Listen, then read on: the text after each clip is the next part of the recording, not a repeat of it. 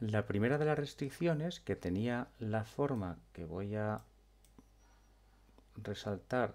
aquí en la diapositiva que presentaba en un vídeo anterior, la vamos a reformular para que queden las variables a la izquierda de la desigualdad y todo lo que no son variables a la derecha. Entonces simplemente pasamos este término de aquí restando. Y cuando sustituimos la P por los diferentes em,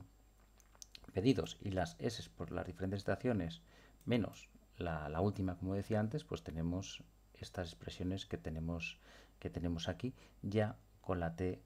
mm, correspondiente a PS, la T super IPS en el, en el primero de los términos de la, de desigualdad. Entonces tenemos aquí, pues para el pedido 1 la estación 1, pedido 1 estación 2, pedido 2 estación 1, pedido 2 estación 2 y pedido 3 estación 1 y pedido 3 estación 2. Por ejemplo, para comentar esta, no puede empezar el pedido 3 en la estación 3 hasta que no finalice el pedido 3 en la estación 2. Y esto es la suma de la duración del pedido 3 en la estación 2 más el tiempo de inicio, recordemos que esto estaría aquí sumando, del pedido 3 en la estación 2. Lo que hemos hecho es particularizar para estos valores de aquí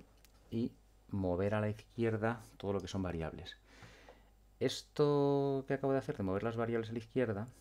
lo que hace es facilitar el desarrollo en Excel como luego eh, veremos a continuación, aunque no es estrictamente necesario, pero facilita identificar la estructura matricial que luego nos va a permitir construir el modelo en Excel y en particular